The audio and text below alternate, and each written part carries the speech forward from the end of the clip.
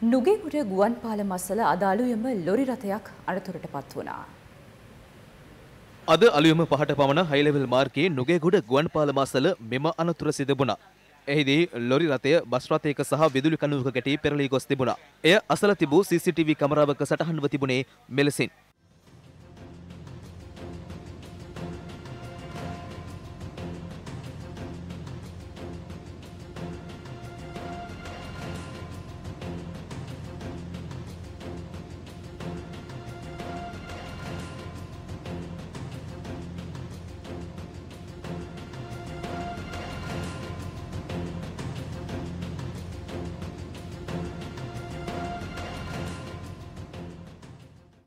අනතුරත් සමග අද උදෑසන නුගේගොඩ සහ ඒ අවට මාර්ගවල දැඩි රථ වාහන තදබදයක් ඇති